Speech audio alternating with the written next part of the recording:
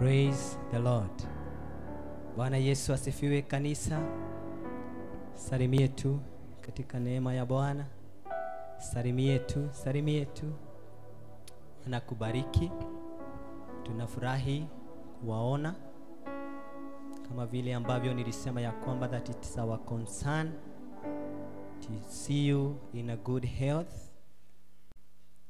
Tunafurahia Bwana kwa sababu atazidi kuwaweka na kurida kila mmoja wetu kwa sababu ya utukufu wake. Bwana Yesu asifiwe. It's a request from our Asha kwamba mahali ambapo umeketi, tafadhali kama utatoka nje, urudi tu mahali pale, na ili kusikue na any distraction. So we thank God as you obey. Bwana Yesu asifiwe. So unapotoka na unarudi, unarudi katika kiketi yako, utabarikiwa sababu ya kutii. Bwana Yesu asifiwe. Najua ya kwamba leo ni siku jema ambayo Bwana ameifanya, na ili tukaweze kulisikia neno lake. Lakini kabla ni tusikie neno, nataka kumpatia mke wangu kama ako ndani, tusalimie mahali alipo tu, tusalimie. Amen. God bless you. Sina tupigie mke wangu makofi tafadhali.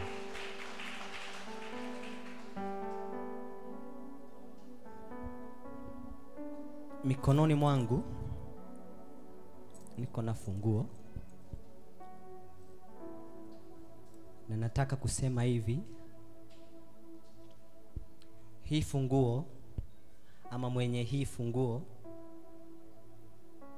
ninamjua, lakini hata kama ninamjua na hata yeye hajajua nimechukua kwa nini, lakini hii funguo nikitoka nayo pale nje, niende tu kwa gari yake, kama tu sina idea ya vile ambavyo ninaweza itumia hii funguo, hata nikiwa nayo haitanisaidia. Umeshika? Bwana Yesu asifiwe. Lakini nikiwa na idea na nikitoa ama nikipewa mawaidha kutoka kwake, hata kuingia kwa hiyo gari itakuwa rahisi sana. Praise the Lord. Bwana Yesu asifiwe. Nimepeana mfano na funguo ili tukaweze kujua ya kwamba mamlaka ambayo Bwana ametupatia, lakini hata kama tuko na funguo tunakosa kuitumia jinsi ambavyo inastahili. Bwana ni mwaminifu katika kufanya kazi yake katika maisha ya kila mmoja wetu, na akiwa kama funguo ndani ya kila mwamini, hata kama atakuwa ndani yako na haujui kutembea na kuenenda jinsi ambavyo yeye anastahili, hata ukiwa na yeye ndani yako itakuwa tu kazi ya bure. Tunashikana. Praise the Lord. Tafadhali nataka usiondoke kwa huo mfano, sababu leo nataka kuongea about the spiritual dominion. That is our theme today, spiritual dominion. Miliki zetu kama Wakristo, na nimesema haya ili tukaweze kuelewa ya kwamba kama vile ambavyo wewe ukiwa na funguo hata kama ni ya nyumba, huwa inamaanisha ya kwamba wewe ndiye mumiliki wa ile nyumba, hata kama ni kukomboa umekomboa. Kweli ama si kweli? Praise the Lord. Lakini ukitoka nje na uende umispress hiyo funguo, hata wewe mwenyewe utakuwa na kazi ngumu ya kuingia mahali pale ndani. Bwana Yesu asifiwe. Praise the Lord. hivyo ndivyo tulivyo na hivyo ndivyo tunakaa wa kristo tumepewa funguo na bwana na anakaa ndani yetu lakini tunakosa kutumia funguo jinsi ambavyo inastahili bwana asifiwe. May the lord help us. Sina bwana atusaidie. Nimekuja kuambia ya kwamba ni wakati wa kujua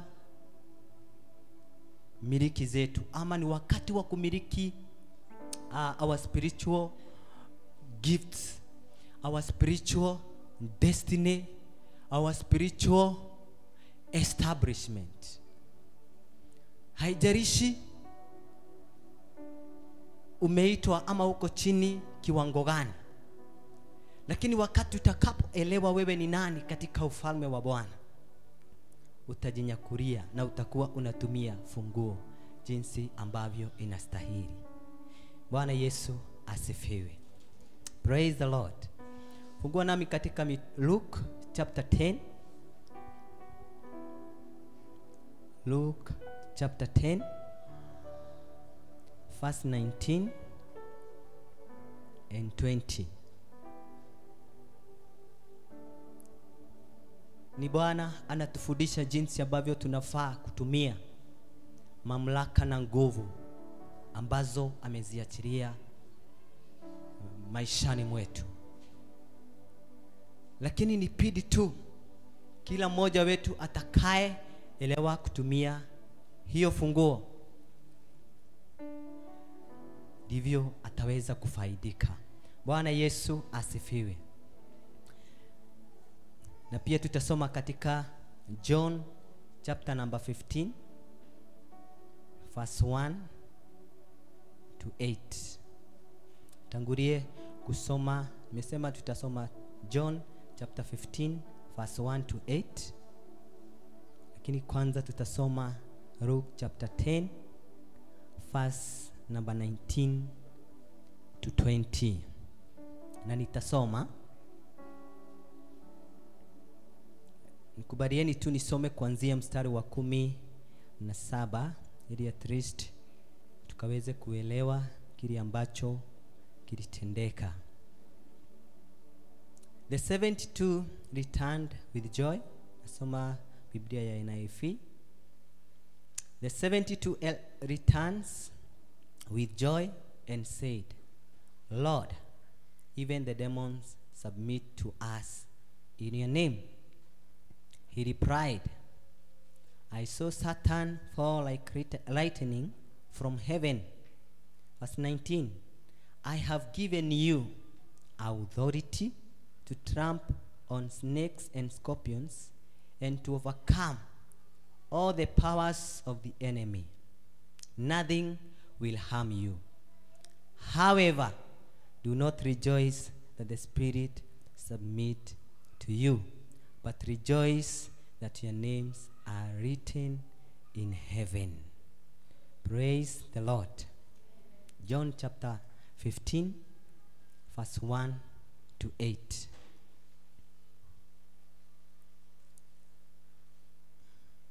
Biblia inasema ya kwamba bado nasikia watu wanafungua makaratasi mabibilia john 15 verse 1 to 8 Na nitasoma. I am the true vine and my father is the gardener. He cut off every branch in me that bears no fruit. Well every branch that does not bear fruit he prunes so that it will be even more fruitful. You are already clean because of the word i have spoken to you. Remain in me and i will remain in you. No branch can bear fruit by itself. It must remain in the vine. Neither can you bear fruit unless you remain in me. I am the vine, you are the branch. If a man remains in me, and I in him, he will bear much fruit. Apart from me, you cannot do nothing. If anyone does not remain in me, he is like a branch that is thrown away and withers. Such branches are picked up, thrown into the fire, and burnt. Verse 7 If you remain in me, and my words remain in you, ask whatever you wish, and it will be given to you. This is to my Father's glory that you bear much fruit, showing yourself to be my disciples. May the Lord bless his word. Bwana Yesu asifiwe. Praise the Lord. Huyu ni Yesu mwenyewe anapeana mfano. Na hata katika mahali ambapo tumesoma katika Luke chapter 10 tunamwona Yesu akifanya kazi kama kiongozi mkuu na akiwaelekeza mitume sabini na mbili. Na Biblia inasema ya kwamba kabla kianzia mstari wa kwanza wa chapter 10 Biblia inasema ya kwamba akawa wakati wake ulikuwa umekaribia wa kuingia katika mitaa mingine. Na akawa katika uombezi kwa sababu wakati wake ulikuwa pia umefika waweye kuondoka na kurudi mbinguni na biblia inasema ya kwamba kwa sababu alikuwa na mitume wengine kumi na moja na pia hao alikuwa amewaandaa. Pia akawa na wazo kwa sababu kusudi lake ni ya kwamba taifa ama watu wote kila mmoja akaweze kuokoka. Na hiyo ndiyo ilikuwa mission ya mungu hata sasa. Ya kwamba mission ya mungu ni mwanadamu akaweze kurejea na akaweze kujua mahali pake katika ufalme wa bwana. Na akawa amewachagua hawa sabini na, na mbili na ili akaweze kuwapatia mamlaka ambayo ilikuwa ndani yake na ama juu yake na yeye pia ambayo aliyopokea kutoka kwa baba yake. Na ili wakaweze kueneza ijiri ulimwengu wote. Bwana yesu asifiwe. Praise the lord na tunaona kristo mahali hapa kama kiongozi mkuu. Anapeana delegation yani anapatia watu ama anawachagua mitume na anawapa, amni, anawapanga wawili kwa wawili kila mmoja ama wa, wakiwa hawa wawili kila watembee mpaka mahali ambapo wangehisi ya kwamba neema ya bwana itafika na imewafikia kwa sababu ilikuwa juu yao kwa sababu tumesikia ya kwamba waliambiwa wali ya kwamba nimewapatia nguvu na mamlaka. Bwana yesu asifiwe. Ya kwamba mtakanyanga. Haleluya. Bwana yesu asifiwe. Ni kumaanisha ya kwamba wakati ambapo umepewa mamlaka na nguvu ni kuonyesha ya kwamba kile ambacho umepewa mamlaka juu yake ni kuonyesha ya kwamba kiko chini yako. Bwana yesu asifiwe. Na hakuna wakati kitakuja kikaweza kukushida. Lakini tunaona hawa mitume wanapopangwa wawili kwa wawili waeneze ijili biblia inasema ya kwamba wakaenenda mahali popote wakihubiri ijili na wakatenda miujiza na wakawa na furaha sana kwa sababu walifaulu katika ile kazi ambayo walipewa. Bwana yesu asifiwe. Praise the lord. Lakini tunaona pale mwanzo katika mstari wa kwanza na wa pili katika hiyo chapter 10 tunaona kuna maandalishi ambayo kristo aliyafanya. Kwa sababu alisema ya kwamba the, the field is plentiful but the workers are few. Kuonyesha ya kwamba katika shamba la bwana mafuno ni mengi lakini wafanyikazi ni wadogo. Na akapatiana huyu mfano kuonyesha ya kwamba kulikuwa na haja ya wafanyikazi wakaweze kupatikana. Lakini biblia inasema ya kwamba akasema kwa sababu hawa wafanyikazi wamekosa akasema ask the lord of the harvest. Bwana asifiwe. Akaweze kupatiana wafanyikazi na wakati haya yote yalitendeka tunaona sasa akianza mipango yake kwa sababu alifahamu ya kwamba hata mimi hii kazi sasa imenizidi na ni gari bado niko karibu kurudi mahali ambapo ni kwa baba yangu.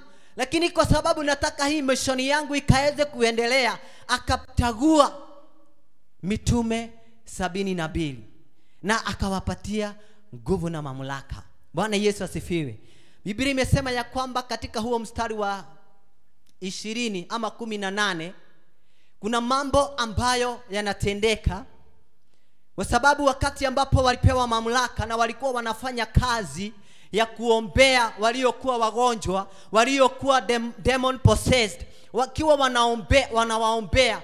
Ukiona jinsi ambavyo biblia inaelezea ni mungu alivyokuwa anaona ina spiritual realm akawa anaona jinsi ambavyo shetani ama andui alikuwa amefinyiliwa na mamlaka ambayo aliweka juu ya hawa mitume. Bwana yesu asifiwe. Praise the lord. Na akawa na wazo na kwa sababu our god is omnipresent yani ako kila mahali wakati wowote ni kuna uwezekano ya kwamba haya yote uh, the miujiza ambayo ilikuwa inatendeka. Yeye mwenyewe alikuwa na uweza wa kuona kile ambavyo mitume hawa walikuwa wanafanya bwana yesu asifiwe. Praise the lord. Na hivyo ndivyo hata siku ya leo. Ni vizuri tuelewe ya kwamba unaposoma katika jeremiah chapter 23 verse 23 utapata kuelewa ya kwamba anasema ya kwamba that the lord is god who is near. But the lord is not far from us. Ya kwamba mungu wetu ako karibu na sisi sio mungu ambaye ako bali na sisi. Na anasema ya kwamba ikiendelea chini ya kwamba hakuna mahali mwanadamu anaweza enenda ajifiche. Hata kama ni wapi hakuna mahali ambapo mwanadamu anaweza jificha mungu wetu asipoona. Bwana yesu asifiwe na hiyo ni dhihirisho ya kwamba wakati hii miujiza ilikuwa inatendeka kupitia hawa mitume mungu wetu kwa sababu alikuwa na ule uwezo wa kuona na kuelewa kile ambacho kilikuwa kinatendeka. Akawa anaona jinsi ambavyo andui shetani jinsi ambavyo alikuwa amefinyiriwa na ndiposa tunasikia ya kwamba alikuwa aliona ameshuka. Bwana yesu asifiwe. Ameshuka kama lightning kuonyesha ya kwamba hakuwa na nguvu. Na pia kuna maelezo mengine biblia inaelezea ya kwamba ni pia ni wakati huu ambapo wakati shetani alimuasi mungu mahali pale mbinguni akateremshwa chini na ili akaweze kuwa mahali hapa katika ulimwengu. Lakini biblia inasema ya kwamba wakati kristo aliona jinsi ambavyo shetani na, male, na wale malaika ambao walikuwa wamemfuata ama wao walikuwa rebellious walimfuata shetani akaona kufinyiriwa kwa mwanadamu. Na moyo wake ukaweza kuinama na liposa akashuka na ili akaweze kuwatetea kama kuhani mkuu. Bwana yesu asifiwe. Wapendwa tuko na uhakika ya kwamba hata wakati huu kuna watu pia wanaendelea wakivinyiriwa katika mambo ya ambayo yako katika ulimwengu. Lakini kusudi la bwana kwa sababu mishoni yake ni mwanadamu siyo dunia ni mwanadamu. Na huwa tunasoma yakoba katika john chapter 3 16 that for god so loved the world that he gave only his only son. Bwana yesu asifiwe. Kuonyesha upendo wake haukuwa kwa ulimwengu lakini ulikuwa kwa mwanadamu lakini ulimwengu unasimamia mwanadamu kuonyesha ya kwamba mungu anadhamini mwanadamu. Bwana yesu asifiwe. Praise the lord. Nilikuwa nataka kusema hivi wakati hawa mitume walipewa hizo nguvu na mamlaka wakaweze kueneza ijili biblia inasema ya kwamba wakaenenda miujiza ikatendeka waliokuwa wagonjwa wakapona. Haleluya lakini wakarudi wakiwa wamefurahia sana. Haleluya. Na wakamwambia bwana tunashukuru ya kwamba hata uh, maandui wetu ama shetani the evil spirit are responding in your name. Bwana asifiwe. Lakini mungu ama kristo alipotazama akaona hiyo furaha ambayo ilikuwa na hawa mitume akaona hatari. Bwana yesu asifiwe. Na ili asuie kiburi chao kuendelea wasionekana kwamba wameendelea. Akawaambia ya kwamba lakini mfurahi kwa sababu kile ambacho kinafaa kinafaa kuwafanya mkuwe mnafurahia ni ya kwamba majina yenu yameandikika katika kitabu cha uzima. Bwana yesu asifiwe. Tunaona anawachallenge na kisha anawatia moyo kuwaonyesha ya kwamba hamjakosa yani hakuna hamjatokea katika ile njia. Lakini kile ambacho mnafaa kufanya ni muelewe ya kwamba kusudi lenu ni jina lenu likaweze kuandikika katika kitabu cha uzima. Bwana yesu asifiwe. Praise the lord. Na sababu ambayo unapata katika mstari wa kumi na tisa kuna peana mfano na scorpions na serpent ni kuonyesha ya kwamba they, yani, they represent the uh, spiritual forces. Yani kuna maroho ambayo ni, ni maofu ambayo yanayowazuia wakristo ambayo yanatuzuia sisi na ndiposa tunaambiwa ya kwamba tumepewa nguvu na mamlaka ya kuyatawala. Bwana yesu asifiwe. Praise the lord so hata kama utapata hayo majina ni mangumu haina uweza kulingana na ile nguvu ambayo bwana ametupatia. Bwana yesu asifiwe. Praise the lord. Lakini nashukuru mungu kwa sababu hawa mitume wakati walielewa ya kwamba ile authority unajua ni kama wakati huu na mumekuwa mkiona wakati ambapo kumekuwa na siasa katika taifa letu. Hata kama ni mbuge ambaye president anaweza chagua aende amwakilishe. Eh, najua mnaelewa vile kuna kuanga. Huyo mbuge vile anakuanga na majifuno. Mimi nimetumwa na na president. Kwa nini? Mamlaka yote amepewa. Haleluya so hata kuongea kwake anaongea kama president. Praise the lord. Bwana yesu asifiwe. Na ndivyo tunaona hawa mitume walifanya kwa sababu walitabua authority yenye walipatiwa na bwana. Na wakajua ya kwamba kwa sababu hata nguvu tumepatiwa sasa tutaenenda na tufanye kazi ambayo iko mbele yetu. Bwana yesu asifiwe. Praise the lord. Mi naona jinsi ambavyo hawa mitume wakati walielewa mamlaka ambayo wameibeba na nguvu ambazo siko juu yao hawakuwa na uoga kuenenda kila mahali wakihubiria kwamba yesu ni bwana. Bwana yesu asifiwe. Praise the lord. Bwana yesu asifiwe. Walikuwa wanakaa na kristo miaka mingi akiwafundisha akiwafunza. Kama hawakuwa na uwezo wa kuomba anawafundisha kuomba. Ni kuonyesha ya kwamba walikuwa na hiyo experience kwa sababu walikuwa the witness. Walikuwa wana witness yale yote ambayo bwana ama kristo alikuwa anayafanya. Bwana yesu asifiwe. Praise the lord. Bwana yesu asifiwe. Na akawapa warning. Akawaambia ya kwamba msifurahie ya kwamba mapepo wanawatii kupitia neno langu. Lakini mfurahie ya kwamba majina yenu yameandikika katika kitabu cha uzima bwana yesu asifiwe. Praise the lord. Bwana yesu asifiwe. Hata kama tumepewa comfort hata kama tumepewa nguvu na mamlaka kama hatutaelewa sisi ni akina nani hata kama tutaweza kutembea usiku na mchana tukisema tu, sisi tu ni wakristo jina wapendwa hakuna tofauti itakayopatikana. Bwana yesu asifiwe. Praise the lord bwana yesu asifiwe. Na lakini wakati ambapo hawa mitume walidhamini authority ya bwana wakati walidhamini nguvu ambazo bwana aliwapatia biblia inasema ya kwamba miujiza ikatendeka miongoni mwao. Waliokuwa wagonjwa wakawa wanapona viwete wakawa wanatembea kwa sababu ya nguvu na mamlaka walizokuwa nazo. Bwana yesu asifiwe. Praise the lord nataka tujiweke mahali ambapo hawa mitume walikuwa wamewekwa na authority ambayo walikuwa nayo. Na kwa kweli tumeokoka na tumeokolewa na bwana sababu hakuna mwanadamu anayeweza kujiokoa. Bwana asifiwe. Praise the lord.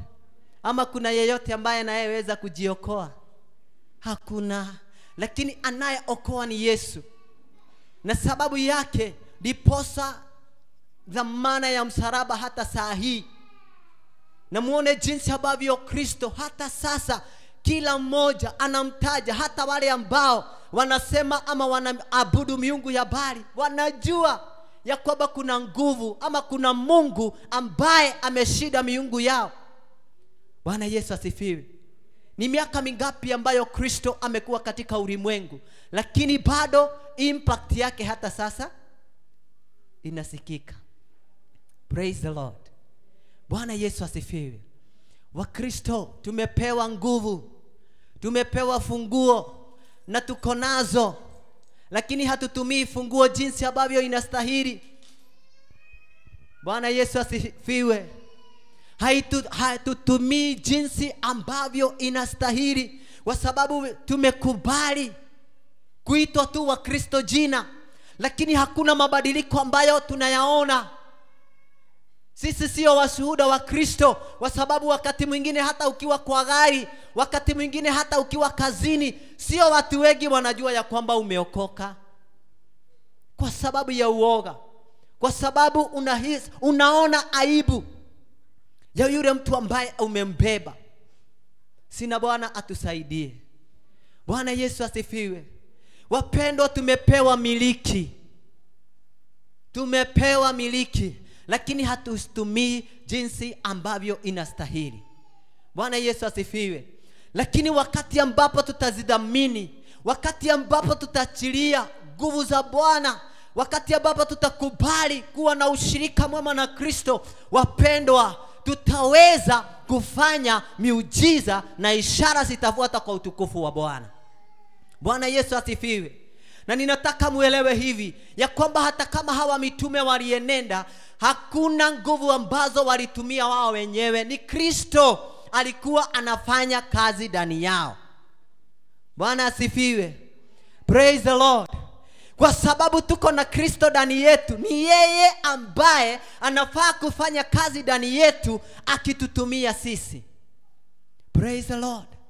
Kumbuka mishek shadrake na bedinego wanaambiwa ya kwamba watawekwa katika uh, shimo la moto. Kwa sababu ya kukosa kuinamia miungu ya bari ambayo ilikuwa imeinuliwa katika ule mji ama katika lile taifa. Lakini wakawa na ile confidence. They were sure. Hata kama mungu hata tuokoa kwa wakati huu tunajua atatumia njia yoyote kutuokoa. Bwana asifiwe wakasema ya kwamba hata kama mfalme umepeana hukumu ya kwamba tuangamizwe ama tuuawe sisi hatutainamia miungu ya bali bwana asifiwe. Wapendwa tumepewa nguvu na mamlaka. Maneno ambayo wakati mwingine tunayatumia hata kunena na kuongea mengi tunayatumia ikiwa negative lakini tunakosa kuona negativity kwa mambo ah, kwa po, tunakosa kuona positive things kwa mambo ambayo wakati mwingine tunayanena. Bwana yesu asifiwe. Praise the lord. Bwana yesu asifiwe. Praise the lord. Wakati walipewa hiyo mamlaka na wakapatiwa nguvu walipatiwa funguo. Bwana asifiwe. Kudhihirisha ya kwamba yesu alikuwa pamoja na wao katika safari. Bwana asifiwe. Hii funguo nikienenda inaweza fungua mahali kwingi sana. Inafungua mlango wa gari. Inafungua boot. Ndio inagurumisha hiyo ijini yote mnaonaga hapo. Bwana asifiwe. Praise the lord. Ukiiweka tu mahali inastahili hata vioo za gari zinaweza kufunguka.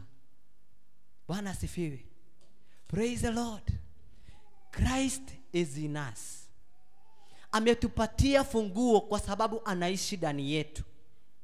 Mahali popote tunatembea tunafaa kuonyesha ya kwamba aliye ndani yetu ni mkuu. Aliye ndani yetu ni shujaa. Aliye ndani yetu anaweza mambo yote. Bwana yesu asifiwe praise the lord. Bwana yesu asifiwe. Hawa mitume wakapewa mamlaka na wakasema ya kwamba wa- wa- walipopatiwa hiyo mamlaka yote wakaenenda. Nashukuru mungu kwa sababu hakuna mtu aliuliza kwa sababu nimeacha vitu, nimeacha vitu zangu. Nitafaidika na nini? Na hapo ndipo tunakosea. Wapendwa bwana ametubariki na afya njema ya mwili. Ametubariki na kila aina ya baraka lakini kumpatia mungu first priority inakuwa ngumu sana. Ni kama kung'ang'ana ni kung'ang'ana tunang'ang'ana kumpatia tu mungu nafasi. Sina bwana atusaidie. Sina bwana atusaidie lakini sijakuja kuwafuja moyo. Nimekuja kuambia ya kwamba huu ni wakati wetu wa kurejea kwa bwana. Ni wakati wetu wa kurejea kwa bwana na tuelewe sisi ni akina nani. Kwa sababu tutakapoelewa sisi ni akina nani katika ufalme huu wapendwa tutasimamia im, tutasimama imara as a good ambassadors of christ. Bwana asifiwe. Praise the lord nilikuwa naambia wale ambao tulikuwa na wao asubuhi katika uombezi. Na nikawa ninawakumbusha. Ya kwamba kwa sababu hatukuokoka siku moja sisi wote kuna kazi ama kuna kanisa iliadaa crusade. Kuna kanisa iliadaa kesha. Kuna kanisa ilitumana mission na ili watu wakaenenda wakahubiriwe. Na kuna uwezekano katikati ya hizo. Ama kuna wakati pia kanisa ilifunguliwa. Ukakuja katika ibada na ukaokoka wakati ule. Lakini kuna gharama ambayo iligharimika ili hiyo siku ikuwe imefanikiwa. Bwana yesu asifiwe. Praise the lord. Wapendwa nataka muone ile gharama ambayo tulilipiwa na yesu kristo kwa sababu ni lazima kanisa tuamuke kila mmoja wetu aamuke. Ajua ya kwamba hata mimi nilihubiriwa hata mimi ni wakati wangu wa kuhubiri. Bwana yesu asifiwe. Na ninashukuru kwa sababu ya wale ambao walikuwa wameenda door to door jana. Bwana awabariki. Bwana awabariki. Na mtaona faida ya hiyo kazi. Mtaona faida. Nyinyi mliacha kazi zenu. Mtaona faida kwa sababu bwana atawashughulikia bwana yesu asifiwe. Tunakaa ni kama tumesahau tunaenda wapi? Lakini mwito ni mmoja. Hata yule ambaye ataokoka siku ya leo bado ahadi ni moja. Ufalme wa bwana. Bwana yesu asifiwe. Ni kuchallenge siku ya leo. Umehubiria watu wagapi ukitumia hizo nguvu na mamlaka hiyo funguo ambayo uko nayo huyo kristo ambaye anakaa ndani yako unamtumia aje kufaidi ufalme wake? Bwana yesu asifiwe. Praise the lord. Praise the lord. Bwana yesu asifiwe. Wapendwa ni jukumu letu kueneza ijili ni jukumu letu kutumia mamlaka na nguvu ambazo tuko nazo. Wewe unafurahia ya kwamba umeokolewa. Wewe unafurahia ya kwamba jina lako limeandikika katika kitabu cha uzima. Lakini tunahimizwa ya kwamba hiyo haija haijakuwa mwisho. Tumepewa mamlaka tena tuamuke na ili tuenende tukahubirie watu. Ni jukumu letu tukasimamishe kanisa. Tulikuwa tunaombea kanisa siku ya leo. Asubuhi. Na tulikuwa tunaombea taifa letu na sijui ni wangapi wameombea kanisa wiki hii. Usinionyeshe. Sijui ni akina gani hao wameombea taifa letu wiki hii. Usinionyeshe lakini bwana atusaidie. Praise the lord. Bwana yesu asifiwe. Praise the lord.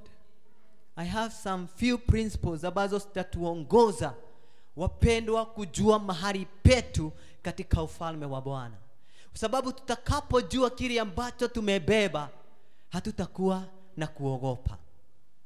Na hata kama taifa letu kwa wakati huu na sio taifa letu ni ulimwengu wote kuko na hili janga la covid-19 watu wanakaa na uoga. Watu mioyo yao imejawa na maji. Lakini sisi ambao tunamjua bwana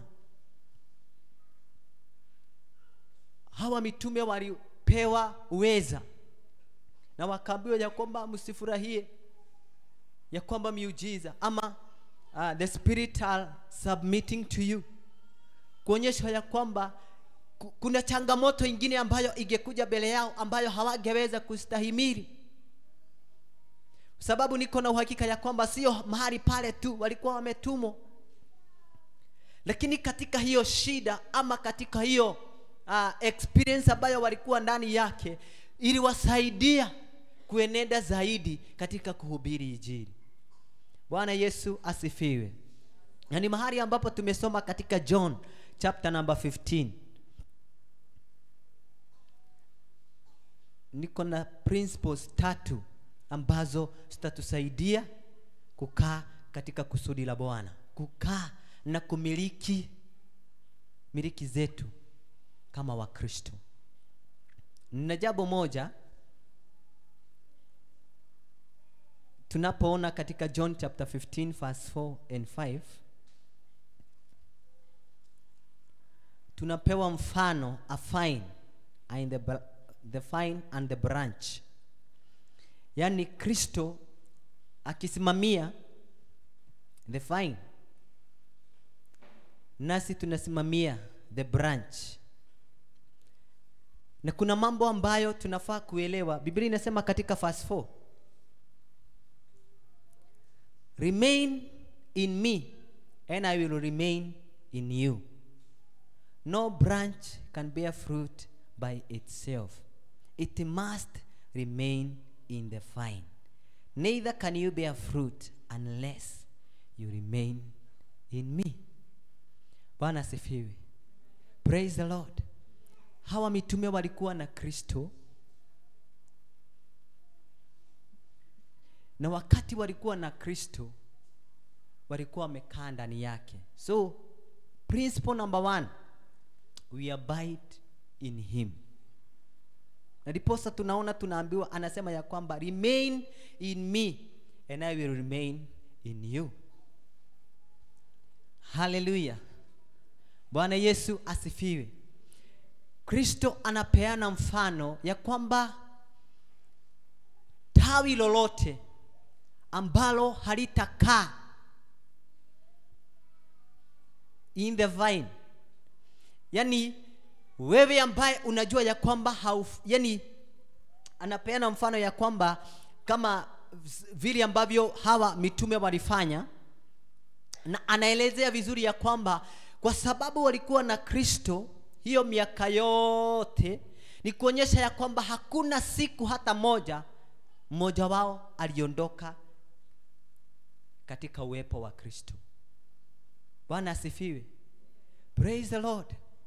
Kuonyesha ya kwamba walikuwa wamejishikilia walikuwa wamemfuata kwa mioyo yao.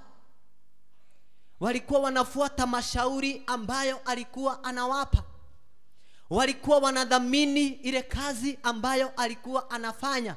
Ni kuonyesha ya kwamba hata kama wakati wao hauko umefika wa kupatiwa hiyo mamlaka walijua kama hatutakaa chini ya huyu yesu hata kama tutaabiwa tuende kazi yetu haitakuwa effective. Bwana asifiwe. Praise the lord.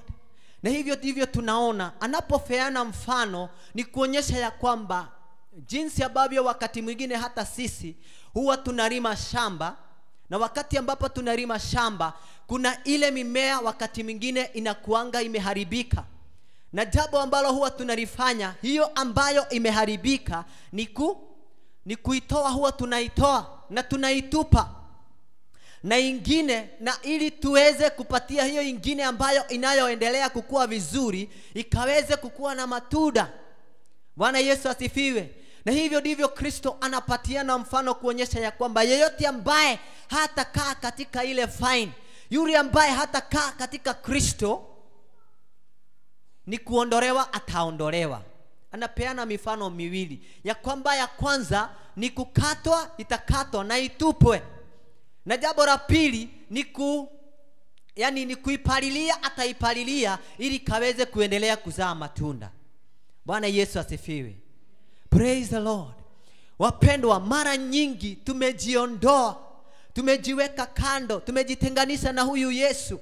Wakati mwingine hata tukisikia habari yake tunajitenganisha. Bwana asifiwe. Tunakosa kutumia mamlaka na nguvu ambazo tumepewa. Tunakosa kudhamini kazi ya msalaba tunakosa kudhamini matendo ya bwana yalivyo makuu. Tunakosa kudhamini the mission of christ. Ikiwa mwanadamu tunafanya msaraba wa yesu unakuwa mdhaifu bwana asifiwe. Praise the lord. Na wakati kristo aliona vile ambavyo wamefurahia akawaambia msifurahie sana ya kwamba maroho yanawatii. Kumaanisha ya kwamba aliona ile pride ambayo ilikuwa ndani yao. Majifuno. Wakati mwingine tumejifuna ya kwamba mimi sifai katika ile kazi. Wakati mwingine kazi ya mungu inaendelea lakini unajiweka kando. Nimekuja kusema ya kwamba unafanya kazi ya msalaba isikuwe na nguvu may the lord help us. May the lord help us. Bwana yesu asifiwe. Hakuna tawi ambalo litazaa matunda kama halitakaa.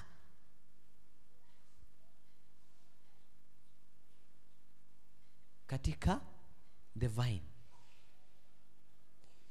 Wapendwa kama unataka kuzaa matunda hata katika maisha yako ya kiroho jishikanise na huyu yesu ni mara nyingi tumejitenganiza na huyu yesu kwa sababu ya aibu. Unapata mahali watu wanahubiri lakini unaona aibu. Unaona ya kwamba hata hauwezi hautaki watu wajue ya kwamba wewe umeokoka. Bwana yesu asifiwe. Praise the lord. Siku ingine tukaenda mahali na nikaaibika sana sababu wakati tulienenda mahali na kulikuwa na ibada katika kanisa fulani katika hii area yetu ni kanisa likawa linaomba. Nasikia kuomba. Watu walikuwa wamezama katika uombezi lakini niliaibika sana wakati ni, ni mimi wakati nilifika. Nikasikia jinsi ambavyo watu walikuwa wanaomba. Mahali nilienda kuweka motorbike yangu nikapata. Mzee wa kanisa. Alikuwa ndani ya gari kuonyesha ya kwamba alikuwa amefika kitambo na alikuwa mahali pale ndani. Watu wanaomba lakini ye hawezi omba. Na nilistuka sana kusikia wakati pasta alisema ya kwamba tuko na, wa, na wazee wa kanisa na anashukuru. Kwangu mimi nikapatwa naibu nikasema he pasta ungejua vile kulikuwa kunaendelea hapo nje. Ungefaa ufikirie zaidi. Bwana atusaidie. Wapendwa sisi sio wazuri lakini kama unadhamini kazi ya msaraba hakuna aibu ambayo itakupata kwa sababu sababu ambayo inayokufanya ujiondoe na kujitenganisha na huyu kristo ni kuonyesha ya kwamba kuna kitu ambacho wewe unaona uko na uwezo kukifanya haumhitaji lakini wakati atakutoa na huko akulete karibu na yeye eh? atakubodaboda atakutengeneza. Kama wakati wako utafika wa kutupwa nje utajua ya kwamba kristo amefanya kazi. Kama itakuwa wakati wako wa that pruning utajua tu. Mimi nimetumwa niambie kanisa ya kwamba turejee tujishikanishe na huyu yesu. We abide in him in and out of season. Bwana yesu asifiwe. Praise the lord. Psalms 91 verse 1 to 13 unapata ya kwamba na tumekuwa tukisikia huu wimbo ya kwamba yule ambaye amefichwa ndani ya yule ambaye ni mkuu zaidi. Kuna ahadi ambazo zinaambiwa mahali pale katika Psalms 91 na ili hiyo verse 13 ikuje kutimia you must abide in him. Na ili ufurahie matunda ili ufurahie hizo nguvu ili ufurahie the authority ambayo umepatiwa kama hautajishikanisha na huyu yesu kama hautaweza kujua uh, mahali pako hata kama uko na nguvu na uweza hautaweza kufanya miujiza.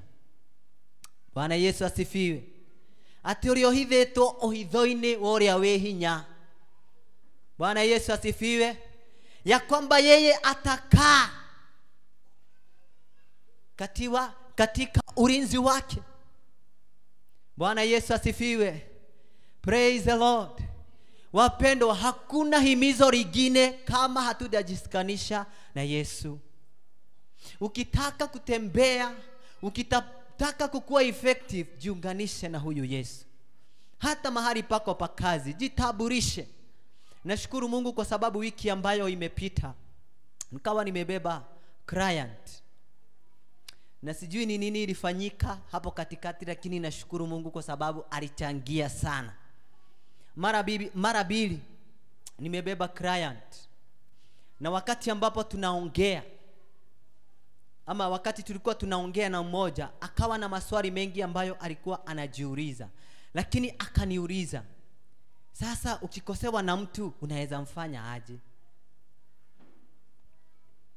Nashukuru mungu kwa sababu alinipatia hekima nikaweza kuongea na yeye.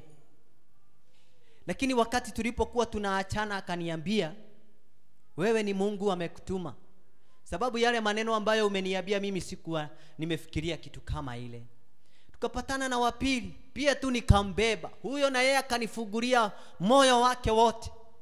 Na tukiwa tunaongea pia nikamwambia nikampea testimony ambayo imefanyika katika maisha yangu na katika jamii yetu. Na tulipokuwa tunaongea the same same words ambazo yule mtu wa kwanza ama client wa kwanza alirudia. Akasema ya kwamba wewe umetumwa na bwana. Bwana yesu asifiwe praise the lord. Wapendwa kuongea kwetu tu. Kuongea tu. Kunafugiria mambo mengi ama kunafungua mambo mengi? Bwana yesu asifiwe. Lakini ina depend na umejishikanisha na nani. Ushirika wako uko aje na yesu? Bwana yesu asifiwe. Praise the lord. Wakati mwingi tumekuwa tukihimizwa tuombe. Lakini tunasema tu ah, kuomba tu. Lakini ujue mtu wako wa ndani anahitaji kuomba. Bwana asifiwe. Mtu wako wa ndani anahitaji kuomba. Na ninakumbuka siku ya wednesday tumenenewa kama mbili ma, mara mbili spiritual building. Na jambo lingine tukaambiwa ya kwamba tukuwe concerned with the spiritual matters. Haleluya na on wednesday we were reminded hey ya kwamba kila mmoja wetu alipewa taranta na tukaulizwa na tukaambiwa yesu anarudi. Umetumia taranta yako aje? Aliye na mingi atapatiwa mingi yule ambaye ako na dogo atanyaganywa sipatiwe yule ambaye ako na nyingi ni nini hiyo ambayo bwana ameweka ndani yako ambayo imekufanya wewe ukaweze kujitenganisha na yeye kwa sababu unaona unaweza May the Lord help us. Bwana Yesu asifiwe. Bwana Yesu asifiwe. Praise the Lord. mark chapter 16 verse 18 we see now jesus appearing to 11 na anawambia you will pick snakes and scorpions with your hand. They will not harm you. Bwana yesu asifiwe. Kuonyesha wao wenyewe walijua ni akina nani na wakajua ya kwamba tutakapotumia nguvu na mamlaka ambayo tumepatiwa e, hakuna kitu ambacho kitatudhuru. Bwana yesu asifiwe. Na kuna huyu mwibaji anaibaga na anasema ya kwamba jina lake bwana yesu laokoa na kuponya rina nguvu tena ni msaada ni lazima shetani yashindwe ni lazima ni lazima shetani yashindwe ni lazima shetani ashindwe. tembea katika yesu ni lazima shetani ashindwe. tumepewa mamlaka juu ya vyote vya dunia hakuna kitu kitatudhuru ni lazima shetani yashindwe ni lazima shetani yashindwe ni lazima shetani yashindwe tembea kemea katika jina la yesu. Ni lazima shetani yashindwe tumepewa mamlaka na uweza na huyo mwibaji anaendelea kusema ya kwamba dada chunga wokofu wako. Baba chunga wokofu wako. Mama chunga wokofu wako. Haleluya. Praise the lord. Sina bwana atusaidie. May the lord help us. Pia tunaona katika john chapter 18 verse 15 and 20, verse 15 to 27 tunaona peter wakati ambapo alikosa kudhamini aliyekuwa na yeye. Tunaona ya kwamba kulikuwa na dinayo wakati ambapo kristo alishikwa tunamwona pita akipelekana na yeye hatua kwa hatua akipelekwa kwa wale wazee waliokuwa makuhani ama waliokuwa wazee wakuu katika ule muji the pharisees. Tunaona pita akawa anamfuata yesu akawa anamfuata kabisa lakini mahali ambapo alienda kukawa na wazee walikuwa wana yani wanajiwom mahali pale. Walikuwa wana yani motaga mwaki. Na wakawa mahali pale kukawa na ungumu sana kwa sababu pita hangeweza kukaa katikati yao. Na kukawa na msichana mmoja ambaye alimfahamu pita na akamwambia ya kwamba ninajua wewe si mlikuwa na Yesu si wewe ni mmoja wake wakati kristo alipokuwa anaulizwa maswali akasema ya kwamba ama akiwa anaulizwa maswali kuhusu the disciples naye peter tunaona upande mwingine anashughulikiwa akikosa kujua na ku, yani akimkana yesu kwa sababu aliogopa. Bwana yesu asifiwe. Akawa na kuogopa kwingi na akamwambia yule msichana ya kwamba mimi simjui mara ya kwanza ikafanyika na akamkana yesu. Akawa pia mara ingine akamkana, akamkana yesu. Na mara ya tatu akamkana kulingana na vile ambavyo neno lilikuwa limesema. Bwana yesu asifiwe. Wapendwa uoga unatufanya wakati mwingine tumkane yesu. Aibu wakati mwingine inafanya tumkane yesu. Tunakosa kudhamini nguvu ambazo ametupatia si bwana na atusaidie na atuondolee uoga tunapojua sisi ni akina nani. Bwana yesu asifiwe. Wapendwa hata kama utapata chareji yoyote ile usimkane yesu. Kwa sababu hautaweza peke yako. Hautaweza peke yako. Usimkane yesu. Bwana yesu asifiwe. Si bwana na atusaidie. Amen. Jambo lingine.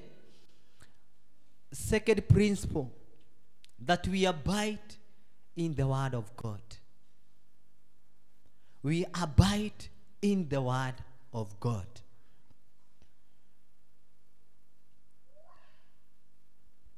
Neno la bwana lilikuwa linatumika kama silaha na sio tu wakati ule hata saa hii. Tunatumia neno la bwana kama silaha. Na tunapolitumia kama silaha aliyeliweka na ambaye analipa nguvu linafanya kazi. Praise the lord. Bwana yesu asifiwe. Praise the lord. Bwana yesu asifiwe. In john chapter 15 verse 5 verse 7 anasema ya kwamba verse 7 if you remain in me and my words remain in you. Aha if you remain in me and my word remain in you. Wapendwa hakuna jambo ambalo litatushinda tukiwa na kuelewa neno la bwana. Tukielewa neno la bwana litatusaidia kusimama kama silaha. Ni vile ambavyo kila ambaye ako na gari kuna ile tool ambayo sijui tunaitaba tunaitanga aje jina? Toolbox yes kwa ile toolbox inakuanga na kila aina ya tool ya kukusaidia ili hata kama ni mguu unataka kubadilisha unaenda kwa ile tool tu unatoa spana yenye ambayo unafaa kutumia. Na ili ukaweze kusaidia ama kubadilisha ule mguu wa gari. Na hivyo ndivyo hata sisi tumepewa hiyo mamlaka. Kupitia neno tunaweza amuru kupitia neno liko na nguvu ya kutupatia kile ambacho tunaweza. Bwana yesu asifiwe. Praise the lord. Lakini hata kama tutajua neno na tumedisconnect na yule ambaye ni the source hatutakuwa na uweza. Bwana yesu asifiwe. So ni jukumu letu tukaweze kulijua neno likaweze kutuweka huru. Kumbuka katika genesis chapter 1 utapata ya kwamba kristo alipokuwa anaumba dunia alikuwa tu anasema neno. Na kuna hiyo kitu inakuwa. Kupitia nini? Alikuwa anajua ako na authority kutoka kwa baba yake. Alikuwa na nguvu. So hata akisema hii ikue ilikuwa inafanyika. Bwana yesu asifiwe. Wapendwa tusikue yani tusiku, tusiregee katika kuelewa neno la bwana. Tusiregee kukaa tukisoma neno la bwana. Tunahimizwa ya kwamba neno litatuweka huru. Neno litazidi kutufungulia milango. Wakati ambapo tutaelewa nguvu zilizo katika hili neno wapendwa tutaweza kujua sisi ni akina nani katika ufalme wa bwana. Bwana yesu asifiwe. Praise the lord. Bwana yesu asifiwe john chapter 1 verse 1 and 3 inasema in the beginning there was word and the word was with god. Neno tu. Hakuna kitu kinabadilika. Hakuna. Ni neno. Na ni nani yako na neno? Si ni mungu. So tukiwa na mungu tuko na kila kitu ambacho tunahitaji. Bwana yesu asifiwe. Si tukae katika neno la bwana na ili tikatuweze kutuweka huru na kutufungulia hiyo mamlaka ambayo tunahi, tunahimizwa tuko nayo tumwombe bwana atusaidie kukaa katika kusudi lake. Bwana yesu asifiwe. Kisha tunaona watu wengine wana exercise the power and authority kupitia neno ama kupitia uh, jina la bwana. Uh, act chapter, one, chapter 3 verse 1 and to 6 unapata peter and john wanampata kiwete katika mlango ama katika gate the beautiful gate. Wakamtazama kwa sababu kuna neno linasema ya kwamba yule kiwete alikuwa mahali pale kila saa alikuwa anaingia mahali pale ama anakaa mahali pale akihitaji msaada kutoka kwa, kwa watu ambao waliokuwa wanaingia katika hekalu la bwana. Lakini biblia inasema ya kwamba wakati peter and john walimwona wali na yeye akawaona. Biblia inasema ya kwamba yule kiwete akawatazama akitarajia kitu kutoka kwao. Lakini biblia inasema ya kwamba wakati walimtazama peter na john walimtazama wakamwambia ya kwamba sisi silver and gold we have none lakini wakamwambia ya kwamba kile ambacho tuko nacho ni jina la bwana. Na wakamwambia katika jina la bwana wewe uamuke na uenende. Wakamshika mkono na wakamuinua wakamsaidia kutembea. Bwana yesu asifiwe.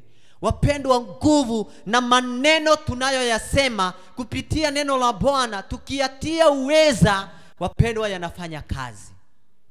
Praise the lord. Bwana yesu asifiwe praise the lord. Bwana yesu asifiwe. Si bwana natusaidie tunapotamani kulijua neno. Tunapotamani kujua kutumia maneno. Bwana yesu asifiwe. Na jambo la mwisho ama principle number three you abide in prayer. Abide in prayer. Hayo mambo matatu ndiyo yatatusaidia kama wakristo. Kukaa tukiwa connected na mungu. Tukikaa kuwa na connected na authority ambayo bwana ameachilia katika ndani yetu ama katika maisha yetu. Na ili tunapoyadhamini yanatusaidia kufanya kazi katika jina la yesu kristo. Verse 7 ya john chapter 15 inasema if you remain in me and my words remain in you anasema ask whatever you wish and it will be given you. Haleluya tuna tunaitishanga kitu tukitumia nini? Kwa bwana? Si ni maombi. Praise the lord. Wakati ambapo tutadhamini uombezi wakati ambapo tutakuwa waombezi wakati ambapo utakuwa na ushirika na maombi huwa inatusaidia kukuwa na ushirika mwema na yesu bwana asifiwe. Inatusaidia kuelewa mahitaji yetu. Inatusaidia kuelewa ya kwamba tunamhitaji yesu kila wakati. Kama mwibaji alisema ya kwamba nina haja nawe kila saa. Bwana yesu asifiwe. Na mwingine akasema ya kwamba haja ya moyo wangu ni wewe tu. Bwana yesu asifiwe wapendwa tunaalikwa katika uombezi na ili our relationship with god ikuwe effective. Bwana yesu asifiwe. Praise the lord. Na kristo ni mfano mwema katika uombezi sababu na si, hatutasoma lakini nataka uandike utaenda kusoma. Luke chapter 5 verse 16 tunaona tunamuona yani tunaona the 12 disciples wakiwa na ule ujasiri ama kristo akiwa na ujasiri akiomba wakati ambapo alikuwa karibu kuwachagua wale mitume kumi na moja. Alikuwa anaomba na pia tumejulishwa katika ule mstari ambapo tulikuwa tumesoma katika uh, katika Luke chapter 1 chapter 10 kuendelea hapo chini. Biblia inasema ya kwamba pia kabla akuja kuchagua hawa sabini na mbili pia alikuwa katika uombezi na ili kupata kuelewa ni akina nani ambao atawapatia mamlaka ya kueneza ijiri bwana yesu asifiwe. Praise the lord. Luke chapter number 3 21 tunamwona yesu yeye mwenyewe akienenda kando anajitenganisha na mitume wake anaendenda katika uombezi kuomba ili ya kwamba ministry yake ikaweze kuwa effective wapendwa ni jukumu letu wakati mwingine tuwa tunajiweka kando unajitenganisha na multitude. Unaenda mahali unaomba peke yako unaombea jamii yako unaombea kanisa unaombea jamii yenu.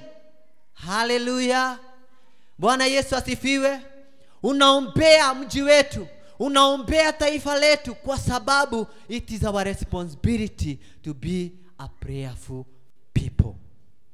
bwana yesu asifiwe. Praise the lord. Praise the lord. Praise the lord.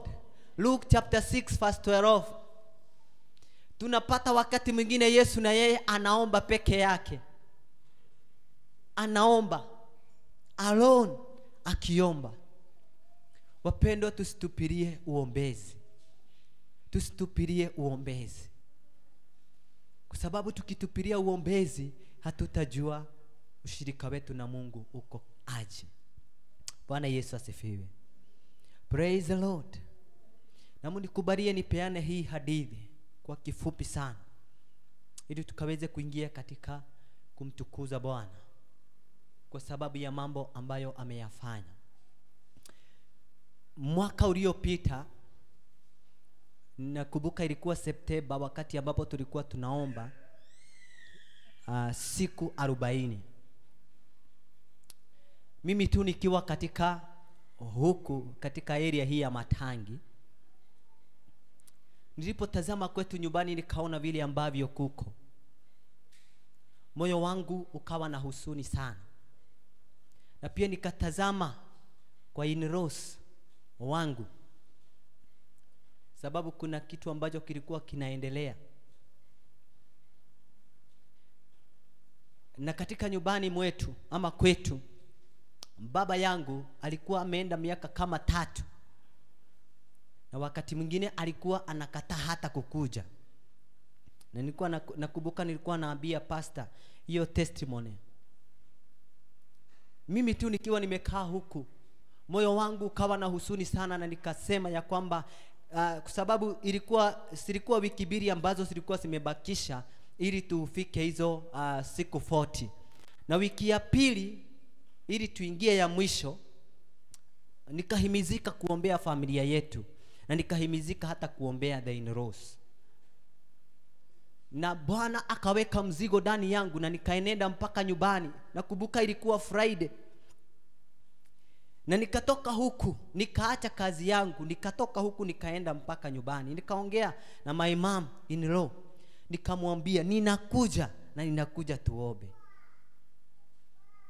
nilikuwa nimemwambia tutaomba risari moja. Lakini wakati nilifika huko kwa sababu kulikuwa na changamoto ya my brother in law.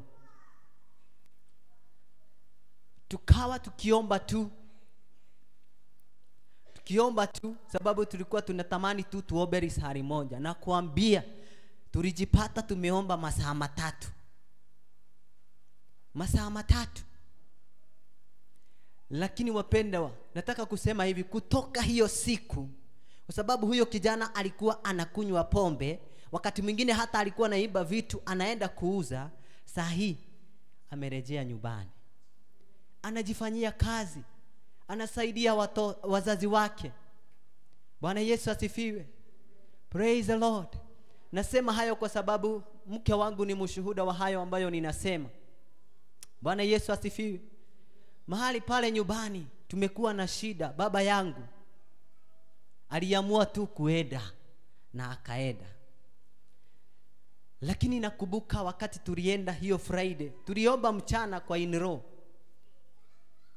na usiku nikawa nimeandaa ndugu zangu na dada zangu nikawaambia nataka tuombe. Na nikawapea prayer items za mambo ambazo nilikuwa nataka tuyaombe na huo usiku tukaomba sana tulianzia saa nne lakini tulijipata by saa tisa. Bado maombi haikuwa imemalizika. Bwana yesu asifiwe. Na bwana akanena nasi. Nataka kumwonyesha umuhimu wa maombi.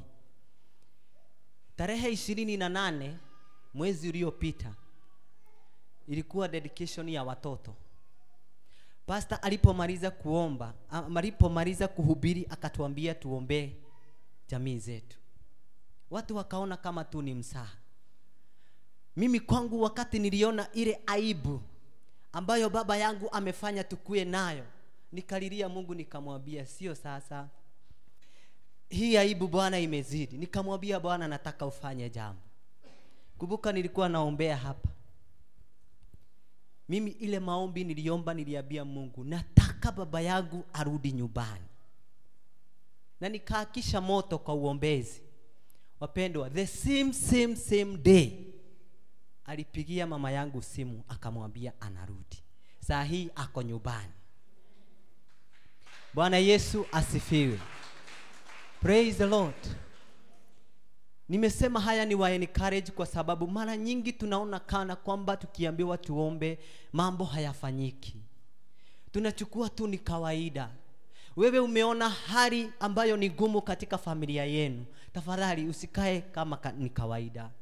Usione kama ni kawaida. Bwana amekupatia nafasi uiombee usimame katika pengo. Bwana afanye kazi yake. Bwana yesu asifiwe.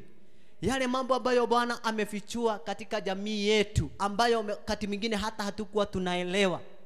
Saa hii ile ameifunua hata mimi kwangu kwa sababu ya jamii yetu nikajua ni maombi na inafanya kazi. Na ninakumbuka wakati mmoja niliomba bwana akaniambia ya kwamba akanitokezea kwa doto akaniambia ya kwamba nataka kukupatia siri yako na ya familia yenu. Imetendeka. Bwana yesu asifiwe. Imetendeka. Wapendwa tusione kama ni msaha katika uombezi. Sina tusimame na miguu yetu. Tumwambie bwana tutadhamini kukaa na wewe